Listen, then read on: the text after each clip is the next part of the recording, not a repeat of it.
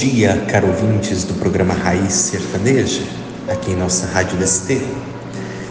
Estamos vivenciando, dia 2 de dezembro, o primeiro sábado deste mês, em que nós celebramos o Natal de nosso Senhor Jesus Cristo, o último mês de nosso ano de 2023.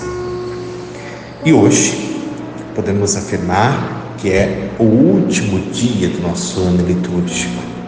Celebramos com Cristo Rei do Universo a abertura da última semana, o último domingo deste ano litúrgico. E já nos preparamos para amanhã, dia 3, iniciarmos o tempo do Advento. Tempo do Advento que apresenta para nós dois caminhos, duas características, dois objetivos, queridos irmãos e irmãs. Primeiro, estamos nos preparando para comemorar, no tempo do advento, a primeira vinda do Filho de Deus entre os homens. É também um tempo que, a partir desta lembrança da primeira vinda do Filho de Deus entre nós, nós vivemos a expectativa da sua segunda vinda, no fim dos tempos. Por isso, é um tempo de piedosa e alegre expectativa. E o Evangelho que vai guiar este último dia do nosso ano litúrgico, já nos preparando para o tempo do advento, é Lucas capítulo 21, versículos de 34 a 36. O Senhor esteja convosco, Ele está no meio de nós. Proclamação do Evangelho de Jesus Cristo segundo Lucas. Glória a vós, Senhor. Naquele tempo, disse Jesus aos seus discípulos: Tomai cuidado para que vossos corações não fiquem insensíveis por causa da gula, da embriaguez e das preocupações da vida. E esse dia não caia de repente sobre vós pois esse dia cairá como uma armadilha sobre todos os habitantes de toda a terra. Portanto, ficai atentos e orai a todo momento, a fim de que terdes força para escapar de tudo o que deve acontecer e para ficardes em pé diante do Filho do Homem. Palavra da salvação. Glória a vós, Senhor.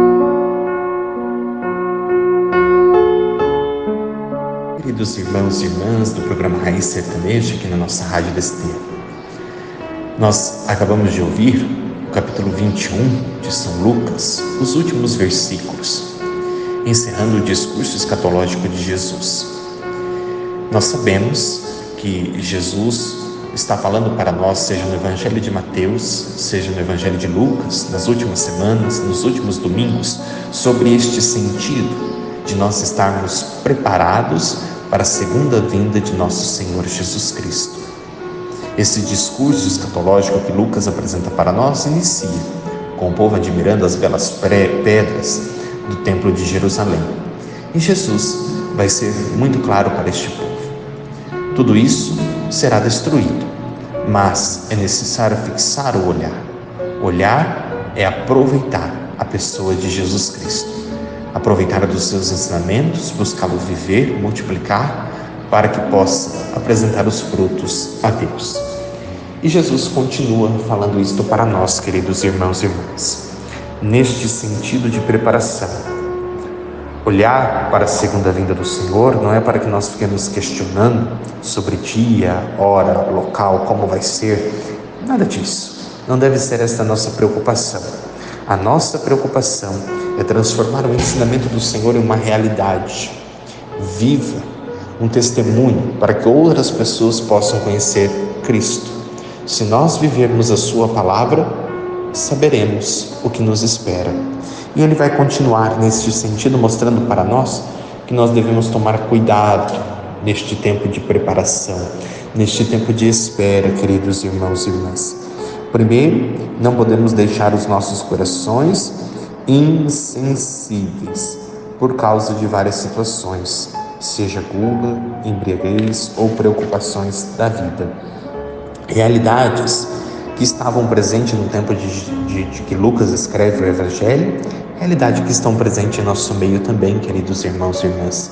Quantas vezes, por causa destas situações do mundo, preocupações da vida, vícios, vaidades, vontades, desejos, tudo aquilo que nós colocamos à frente de Deus, o nosso coração se torna insensível. E nós vamos perdendo esta ideia de uma segunda vinda, nós vamos perdendo esta ideia de nos prepararmos, nós vamos perdendo a ideia de estarmos atentos, vigilantes para o encontro com o Senhor. É isto que Cristo está dizendo para aquele povo e é isto que o Senhor está dizendo para nós. Nós não podemos ficar presos a essas realidades humanas, essas realidades do mundo e esquecermos de olhar o projeto que o Senhor tem para nós. Se nós ficarmos presos ao que o mundo nos apresenta, vai acontecer aquilo que o Senhor alertou: este dia cairá como uma armadilha. E se nós estivermos atentos a isso, seremos presos nesta armadilha. Qual vai ser, portanto, o último ensinamento de Jesus neste Evangelho? Atenção e oração em todo momento, para nós ficarmos de pé diante do Filho do Homem. É isto que nós precisamos.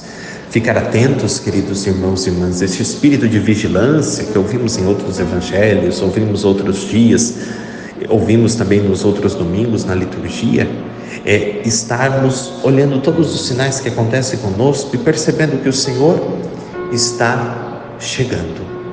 A sua volta não está distante de nós, mas não para nos assustarmos, não para ficarmos preocupados, é para que nós acordemos, que nós acordemos e façamos o que devemos fazer, como cristãos, nos preparar para este encontro porque quando ele chegar, ele vai nos encontrar preparados para participarmos da festa que ele fez para nós, do banquete de salvação. Então, atenção, esta vigilância, estar preparados, ler os sinais dos tempos, mas ao mesmo tempo oração. O ser humano que se prepara para a segunda vinda de nosso Senhor Jesus Cristo se faz nesta comunhão com Deus, esta comunhão que é permanente, esta comunhão que é construída a cada dia, esta comunhão que é oração. Então, queridos irmãos e irmãs, encerrando este ano litúrgico de maneira oficial, último dia, e já às portas de celebrarmos o tempo do advento, de preparação para o Natal do nosso Senhor Jesus Cristo e dessa expectativa da segunda vinda gloriosa, nós tenhamos diante de nós esta fala do Senhor. Atenção, vigilância e oração. Estarmos prontos para o encontro com Cristo ressuscitado que vem para nos salvar. Não percamos o foco, não nos olhemos somente para aquilo que acontece neste mundo, para as coisas que o mundo apresenta, mas olhemos sobretudo para a realidade de Deus, o que Ele nos apresenta, e vivamos a cada dia Louvado seja o nosso Senhor Jesus Cristo, para sempre seja louvado.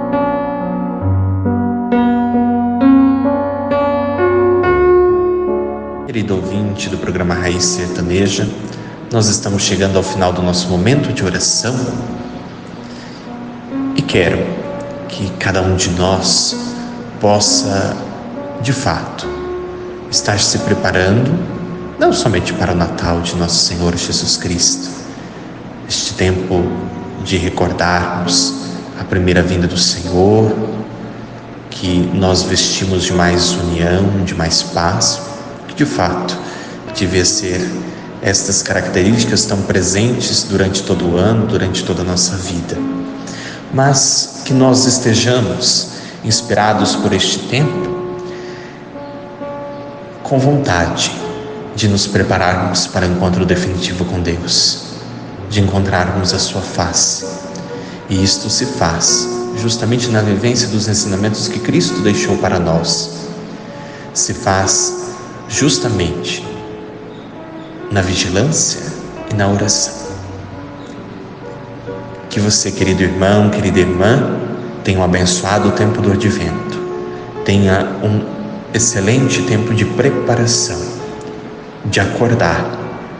Acordar para se preparar para o encontro com Cristo Salvador.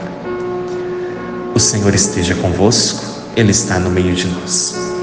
Pela intercessão de Nossa Senhora de Lourdes, São José, Santo Inácio e Santa Luzia, abençoe-vos o Deus Todo-Poderoso, Ele que é Pai, Filho e Espírito Santo. Amém. Um abençoado final de semana, você e a toda a sua família. Deus vos abençoe. Até o próximo sábado, se Deus assim quiser.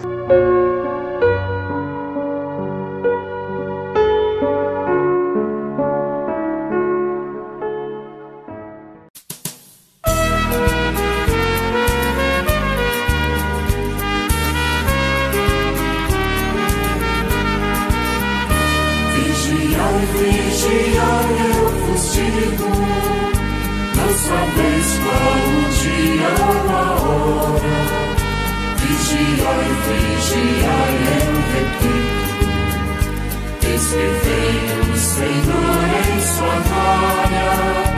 Vigiai, vigiai, eu vos digo, não sabeis qual o dia ou a hora. Vigiai, vigiai, eu repito, eis que vem o Senhor em sua glória. Foste amigo antigamente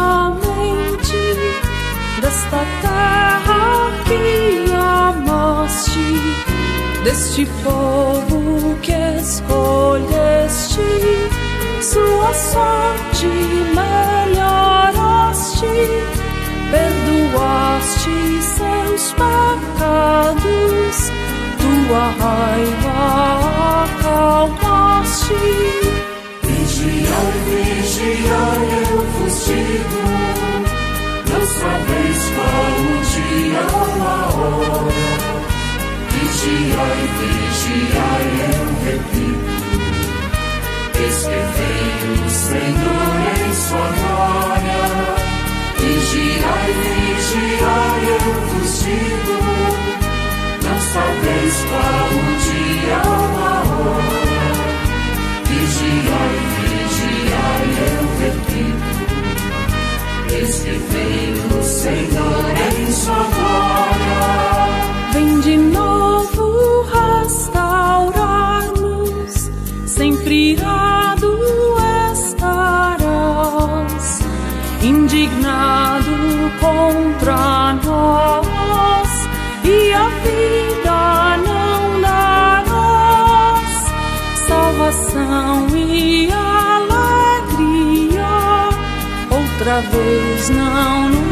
nos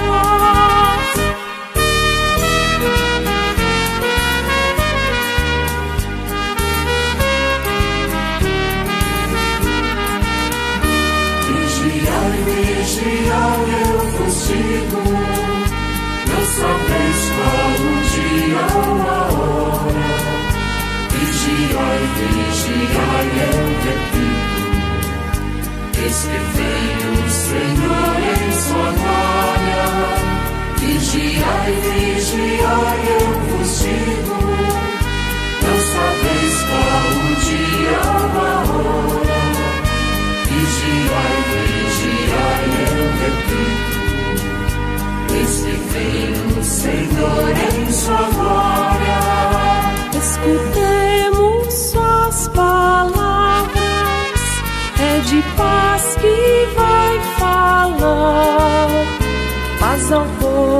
seus fiéis, a quem dele se. Está perto a salvação e a glória vai voltar. Vigiai, vigiai, eu vos digo, não sabeis qual o dia ou a hora vigiai, vigiai, eu repito. Eis que o Senhor em sua glória. Vigiai, vigiai, eu vos digo. Não sabeis qual o dia ou a hora. Vigiai, vigiai, eu repito. Eis que o Senhor em sua glória. Eis amor fidelidade vão unidos se encontrar. Bem assim, justiça e paz vão beijar-se e se abraçar. Vai brotar fidelidade e justiça se mostrar. Vos digo, não sabeis qual o dia ou a hora. Vigiai, vigiai, eu repito, vem o Senhor em sua glória. Vigiai, vigiai, eu vos digo, não sabeis qual o dia ou